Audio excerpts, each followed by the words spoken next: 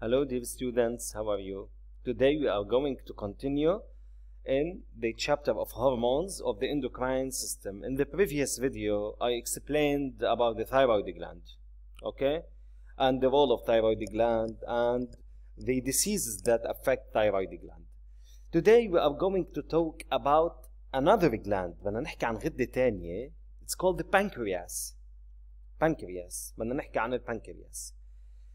and the role of pancreas in the regulation of glycemia تعديل نسبة السكر بالدم but before let's talk about sugar in the blood هلا حدا بيقول لي يمكن انا ما بعرف شو يعني سكر بالدم خلينا نحكي شوي عن السكر بالدم you have to know that when you eat food is digested الاكل بينهضم and food is transformed into nutrients الاكل بينهضم بفوت على stomach stomach this is the stomach here بينزل الأكل على ال small intestine هلا مش مبين small intestine منيح بال small intestine بيتحول ل nutrients most of carbohydrates معظم الكربوهيدراتس بيتحولوا ل nutrient اسمه glucose and the glucose is absorbed by blood. بيمتصوا الدم بجسمنا لهيدا السكر اللي هو اللي بيجي من الأكل.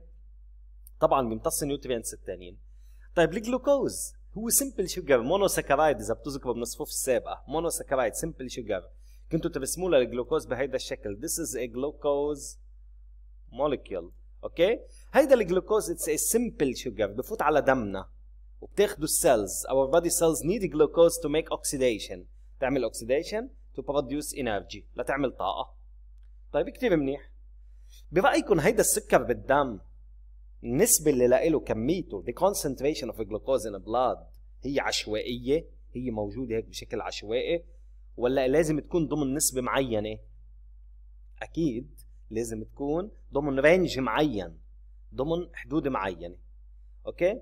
The amount اسمعوا هالكلمتين. The amount of glucose in blood is called glycemia or glycemia. Glycemia. Glycemia emia E-M-I-A glycemia means concentration of glucose in blood. Emia means blood. Glyce means glucose. كمية الجلوكوز بالدم. نسبة السكر بالدم.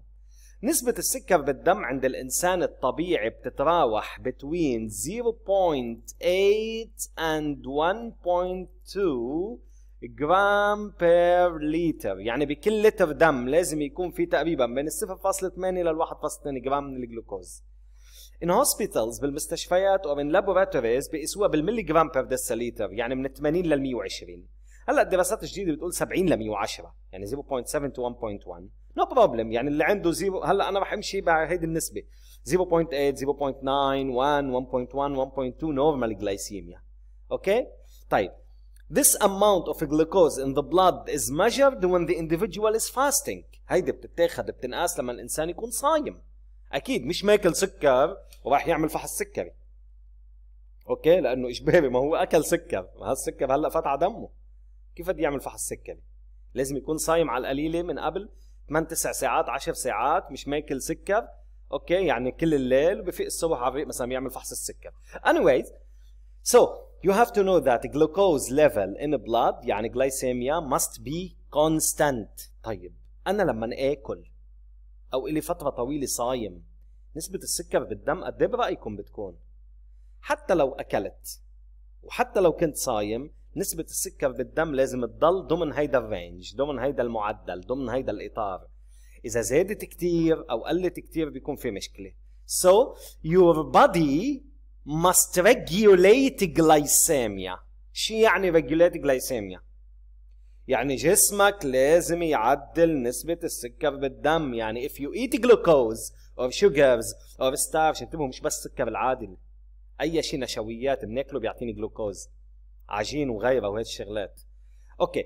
if you eat food that will give you glucose the amount of glucose in the blood must increase. بقوم الجسم بنزلها. وإذا لك زمان صايم if you are fasting fasting يعني صايم يعني you are not eating for a long period of time for 10 hours 20 hours etc أوكي انت لك فترة مش ماكل. كمان إذا بفحص نسبة السكر بالدم بلاقيها ضمن المعدل. طب كيف هيك؟ Because your body regulates glycemia. شو يعني regulates? ينظم. ينظم. Example بسيط. أنا إذا باخذ إنسان for example this is an individual. He eats a meal. هيدا الإنسان أكل وجبة غذائية. okay بعد ما ياكل وجبة غذائية كمية السكر بالدم كانت 80 يعني 0.8 عليت. بعد فترة بترجع بتنزل. okay؟ بترجع بتنزل لوضعها الطبيعي كمية السكر بالدم. So when you eat glucose after a certain time بعد ساعة ساعتين ساعتين ونص بترجع تعلى أكيد أول ما تاكل. أنت سكر بتعلى بالدم بعدين بترجع تنزل لوضعها الطبيعي. أوكي؟ So glucose in the blood or glycemia is regulated ما حدا يقول amount of glycemia أو concentration of glycemia because glycemia هي concentration of glucose in the blood أوكي طب مين بنظم نسبة السكر بالدم what regulates the amount of glucose in the blood or what regulates glycemia in the blood okay مثلا مش اتفقنا انه ال thyroid gland بتنظم حرارة الجسم ال parathyroid اللي هون على ال thyroid بنظموا نسبة الكالسيوم بالدم however glycemia is regulated by an organ called the pancreas. The pancreas. This is the pancreas. هيدا هو شايفينه؟ كله هيدا البنكرياس. Okay? The pancreas is an organ found to the left side of the stomach تقريبا او at the stomach يعني على لازق بالسمول intestine under the liver هيدا الليفر هيدا البنكرياس بيشبه ورقة الشجر. Okay? The pancreas is open to the small intestine بيكون مفتوح على small intestine and it secretes pancreatic juice. بيفرز pancreatic juice هم نعرفها نحن. بس بيفرز هرمونز also it secretes hormones. And its hormones are responsible for the regulation of glycemia. هو بيفرز هرمونات بنظموا نسبة السكر بالدم. تعالوا نشوف أنا وياكم هالمصطلحات أو هالتعريفات. Glycemia it's the concentration of glucose in the blood. okay نسبة السكر بالدم. نسبة السكر بالدم جلوكوز العسل ما في بقلبه جلوكوز إذا كان عسل أصلي. عشان هيك ما بيرفع نسبة السكر بالدم. مبدأ السكري فيه ياخذ شوية عسل. okay؟ It fluctuates يتأرجح انتبهوا ما في شيء بجسمي أنا هيك ثابت خلص. ثابت خط مستقيم. لا هيك. okay؟ بيعمل fluctuations. fluctuation يتأرجح يعني هيك. طبعا هاي يعتبر constant هالخط constant إذا قلت أنا 0.8 يعني هذا تقريبا عنده 0.8 constant between 0.8 and 1.2 يعني طالما هو بين ال 0.8 وال 1.2 تبع بعض من ضمن النسبة الطبيعية. طيب what happens if glucose concentration in the blood increases above 1.2? Okay? And in which cases it increases? This is called hyperglycemia. Hyper يعني high. Glycemia ارت... سكر بالدم ارتفاع نسبة السكر بالدم. Increase in glycemia above 1.2 gram per liter. Okay? أنت بتصير هالشيء بكل بساطة if you eat a meal rich in carbohydrates. إذا أكلت وجبة غنية بالكربوهيدراتس بالنشويات. وممكن تعلى نسبة السكر بدمك لتوصل لل 1.6 و 1.7 بعد الأكل. أكثر من هيك مستحيل تعلى إذا كان الإنسان ما عنده سكري. أما الإنسان اللي عنده سكري بتوصل للأربعة وللخمسة وللستة بقول له السكري عنده 600 و700 أوكي؟ هذا شيء كثير خطير. However in normal individual after eating a meal glycemia will never reach 1 point أو more than 1.6 أو 1.7 وإلا مشكله مجرد ما تقطع ال 1.7 جرام صار عنده سكر هذا الشخص. بس الإنسان الطبيعي قد ما يأكل ما بتعلى فوق ال 1.6 1.7 أوكي المهم هلأ مش موضوعي. Hypoglycemia. Hypo means decrease. Hypoglycemia decrease in glycemia below 0.8 يمكن بتصير هيدي it occurs during fasting. صيام واحد صايم فترة طويلة. Or doing intense activity. واحد عم يعمل نشاط. because you know that during activity your muscles need oxygen and glucose to make oxidation in order to produce energy so you consume glucose طب انت عم تستهلك الجلوكوز من الدم فنسبة الجلوكوز بالدم بتبلش تنزل ممكن يغمى الانسان اذا نزلت الجلايسيميا كثير at 0.4 اذا نزلت الجلايسيميا تحت ال 0.4 بيموت الانسان بيوقف الدماغ because your brain your nervous your neurons inside the brain needs need a lot of glucose to function to produce energy to transmit nervous messages طيب the pancreas it's a mixed gland that secretes pancreatic juices and two hormones هي البنكرياس شايفينه pancreas هو mixed gland 98% من البنكرياس هو اكزوكراين secretes enzymes pancreatic juice في بقلبه تريبسين واشياء ثانيه واميليز وليبيز وغيرها However, 2 to 3% of the pancreas are called islets of Langerhans هي هون. المنطقة هي ال islets of Langerhans شايفينها؟ ليكوا أصغرها هون بالبنكرياس بتكون. يعني هون في مناطق بالبنكرياس scattered regions. مناطق موزعة بالبنكرياس اسمهم islets of Langerhans islets. جزر مثل island لانجرانز نسبة لل scientist اللي اسمه بول لانجران اللي هو أول ما نحكي عنهم.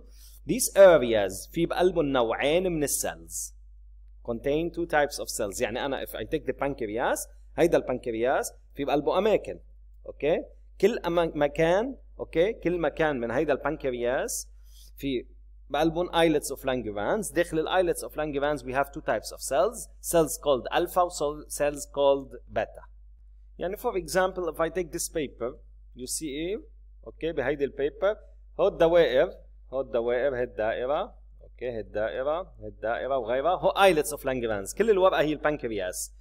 كل islet of Langerhans هون مثلا هيدي ال islet of Langerhans في بقلبها alpha و beta cells هيدي ال islet of Langerhans في بقلبها alpha و beta cells أسمائهم هيك cells okay؟ so alpha and beta cells secrete hormones. Beta cells secrete a hormone called insulin. Insulin hormone. بعتقد سامعين فيه. However alpha cells secrete a hormone called glucagon. Glucagon hormone. So alpha cells secrete glucagon beta cells secrete insulin what's the role of each hormone insulin hypoglycemic hormone واضح hypoglycemic hormone هرمون بنزل نسبة السكر بالدم هرمون بينزل it's a hypoglycemic hormone it causes hypoglycemia it decreases glycemia if glycemia is high the body the pancreas secretes insulin to decrease it to its normal value يعني إذا السكر بالدم عالي كثير بيفرز الجسم انسولين لينزلها okay so hypoglycemic hormone secreted by beta cells of islets of Langerhans of the pancreas it decreases glycemia بقلل نسبة السكر بالدم okay طب على كيف كيف بقلل نسبة السكر بالدم؟ أنا والله هلأ أكلت سكر علي عندي السكر بالدم، جسمي بيفرز انسولين. بيروح الانسولين عند مين؟ عند العضلات. بقول لهم يا عضلات خذوا الجلوكوز الزايد. بيروح عند ال liver بيقول له يا liver خذ الجلوكوز الزايد الزيادة. So insulin excites بيحفز muscles and liver cells to take the excess of glucose from the blood. so, جلوكوز بيرجع بينزل لوضعه الطبيعي okay يعني بيخلي ال liver والعضلات تخزن الجلوكوز الزيادة من الدم okay however glucagon hormone it's a hyperglycemic hormone بيزيد نسبة السكر بالدم يعني إذا كانت نازلة الجسم بيفرز جلوكاجون لحتى يعليها okay hyperglycemic hormone alpha cells secreted by alpha cells of islets of Langerhans it increases glycemia. على مين بيشتغل؟ بكل بساطة بيشتغل على خلايا الكبد بس بشكل عام يعني بالدرجة الأولى أنتم مطلوب منكم إنه بيشتغل على خلايا الكبد ال glucagon hormone بيروح عند خلايا الكبد واحد هلا مش عم ياكل جلوكوز صايم كل النهار بقيس له نسبة السكر بالدم بلاقيها ضمن المعدل الطبيعي. طب ليش؟ بكل بساطة لأنه جسمه عم يفرز جلوكاجون ال glucagon hormone بيروح عند ال liver cell بيقول له يا liver يا حبيبي أعطينا هالسكر اللي بخزنه كبه على الدم. بقوم ال liver بكب هيدا الجلوكوز على الدم to maintain glycemia هلأ في كثير ناس يمكن عم تخطر ببالهم فكرة إذا مثلا الجلوكوز خلص بقلب ال liver. شو بيعمل أو اذا ال liver عم بخزن جلوكوز عبى كله شو بيعمل extra بنجاوب عنهم أكيد هودي So, glucagon is a hyperglycemic hormone that increases glycemia. طيب. Now, we are going to talk about hyperglycemia and what happens in the body in case of hyperglycemia. How does the body behave in case of hyperglycemia? First of all, you have to know that the cause of hyperglycemia is eating carbohydrates. Eating a meal rich in carbohydrates. شو بصير بنسبة السكر بالدم؟ It elevates. Okay? طيب هلا بكفي بهيدا الفيديو لهون. Next time إن شاء الله we are going to talk about hyperglycemia نرجع رح نحكي بالفيديو اللي بعده أو بنفس الفيديو عن ال hypoglycemia كيف بنعالجها أو كيف الجسم بظبطها وبعدين بدنا نحكي عن diabetes أو مرض السكري see you in the next فيديو إن شاء الله وأكيد don't forget to subscribe to the channel وهودي بتلاقوهم على ال Life Science Simple Guide on Facebook على هيدي الصفحة. Don't forget to like